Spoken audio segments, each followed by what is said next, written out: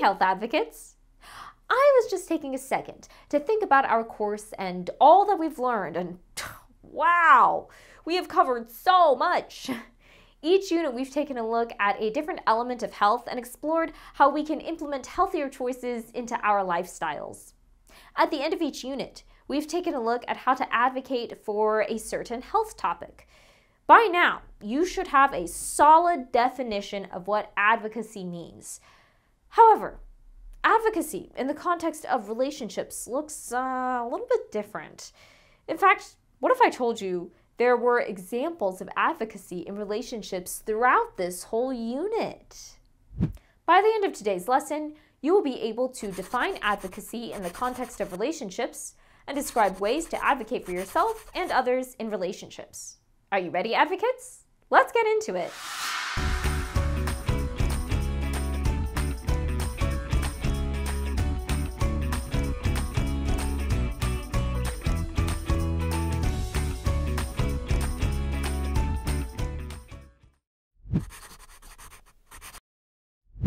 Advocacy means actively supporting a cause you believe in. So, how do we apply this to our relationships? Let's start by exploring self advocacy. Remember when I set a boundary with Justin about all those texts and calls about his roommate? And also when Justin spoke with his roommate about keeping the laundry area clean? These are both examples of self advocacy.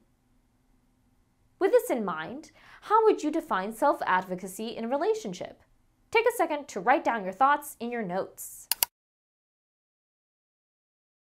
Since advocating means supporting a cause that you believe in, the cause in question here is you.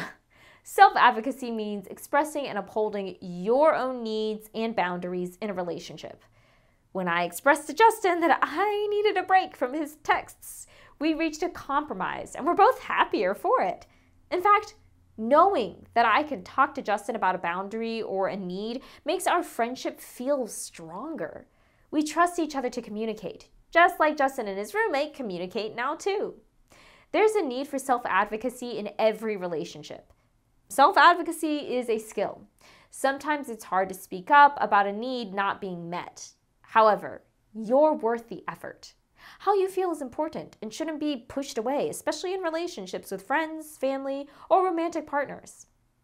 Now that we've got a good grasp on self advocacy, let's look at how we can advocate for others. As you learn to advocate for yourself, you also start to build skills that help you advocate for others in a relationship. You might have an idea of what this means already.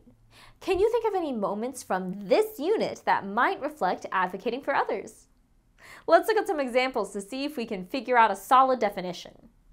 Justin told me about how his sister asked for some help when she was feeling lonely, and about that time when her teammates were pressuring her to skip soccer practice. Based on these examples and what we already know about advocacy, what does it mean to advocate for someone else in your relationship? Take a moment to write down your thoughts in your notes. I'll bet you've got something similar to this. Advocating for others in a relationship means supporting and promoting another's needs and well being. Let's check out a few ways Justin advocated for his sister.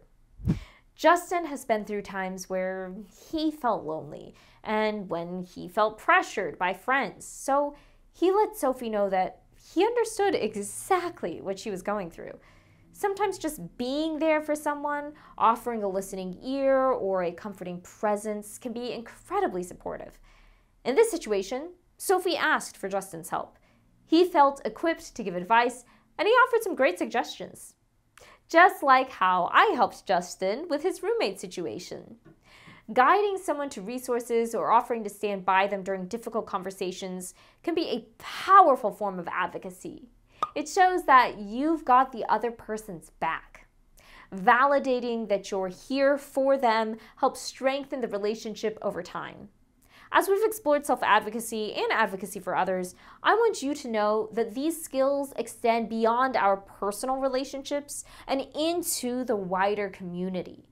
Engaging in community advocacy means taking what we've learned about supporting ourselves and others and applying it to broader societal issues. Whether it's volunteering or supporting local causes, your advocacy can contribute to positive change in your community. It empowers you to be an active participant in shaping the world around you. Thank you for joining me on this health journey. I'm so proud of all the work that you've done. Building a healthy lifestyle is a lifelong journey, and I know we'll both keep working to live our best, healthiest lives. I'm Caroline, and remember, prioritizing your health is a choice you make every day, and it's worth it. So keep building that healthy lifestyle. Take care, and I'll see you later. Hey.